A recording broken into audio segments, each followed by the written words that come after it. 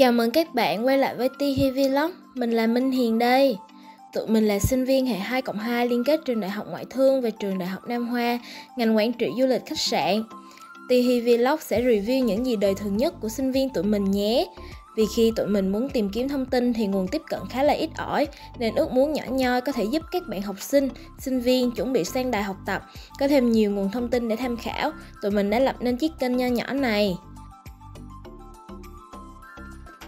Năm mới, năm me, chúc cả nhà sức khỏe dồi dào, vạn sự như ý và luôn vui vẻ. Tết này các bạn đã đi chơi những đâu ta? Các bạn comment bên dưới chia sẻ cho Tihi biết với nha. Tết này vì dịch khá là nguy hiểm nên tụi mình chỉ đi chơi gần nơi tụi mình ở thôi. Bây giờ tụi mình đang đi ra Gata Lĩnh để đến Chai City nè. Đến ga Cha thì tụi mình liền đến Cha Cultural and Creative Industry Park. Vào năm 1916, dưới thời Nhật cai trị thì nơi này là nhà máy sản xuất bia đó. Đến năm 2003 được đổi thành công viên thưởng lãm cho người dân ở đây. Bao gồm 21 tòa nhà lớn nhỏ, có nơi muốn vào thì sẽ tính phí, có nơi được tham quan miễn phí với các hàng trưng bày nhỏ xíu, với phong cách trang trí đẹp mà phải khiến tụi mình thốt lên Wow, luôn vẻ. Mỗi gian hàng đều có khu vực DIY, do it yourself. Các bạn có thể tự làm ra các sản phẩm nè. Giá theo mình nhớ không lầm thì thấp nhất là 250 khoai một người, là tầm 200 ngàn Việt Nam đồng đó. Giữa hai dãy nhà là trục đường lớn, được thiết kế với nhiều hình thù đẹp mắt, tha hồ cho tụi mình check-in, sống ảo. Có cả khu sản xuất gỗ với những vật dụng thường ngày được làm từ gỗ nè, giá khá là chát đấy, nên tụi mình chỉ tham quan thôi. Tiếp theo tụi mình sang bên đối diện là tòa nhà bảo tàng nghệ thuật thành phố Gia Nghĩa.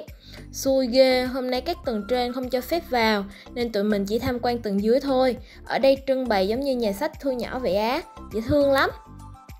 Điểm đặc sắc ở nơi đây là có khu check-in cực giống trời Âu luôn. Hôm tụi mình đi thì có các bạn đang chụp hình tốt nghiệp nữa, khiến mình cũng mau chóng tốt nghiệp ghê. Đó, tụi mình cuốc bộ một quãng đường đến Sun of the Forest là một địa danh hình mái vòm để kỷ niệm thành phố với các căn nhà bằng gỗ thịnh vượng của Đài Loan, Cha Di. Mái vòm tượng trưng cho một cây thần thánh, nền tảng của nền kinh tế thành phố và đường sắt Alisan. Để vào bên trong mái vòm, bạn phải đi qua các cổng vòm phủ mây. Khi vào bên trong, bạn như được lọt vào bên trong một bầu không khí lãng mạn, giống như đang ở giữa một khu rừng được mọc lên một cách kỳ diệu từ hư không. Đi bộ một đoạn nữa thì đến Central Plaza. Khi nghe đến Plaza, các bạn nghĩ là trung tâm mua sắm phức hợp đúng không? Nhưng thực chất nơi này chỉ là công viên thôi. Tụi mình thuê chiếc xe đạp U-Bike chạy vòng vòng công viên đón gió rồi tranh thủ nghỉ ngơi chút nè. Sau đó, cả đám đến chợ đêm Quỳnh Hoa, một trong những chợ đêm lớn nhất và tấp nập nhất tại Cha Di để mua trà sữa ủ sữa lãnh, gà rán và đến gặp cô bán bánh mì Việt Nam nè.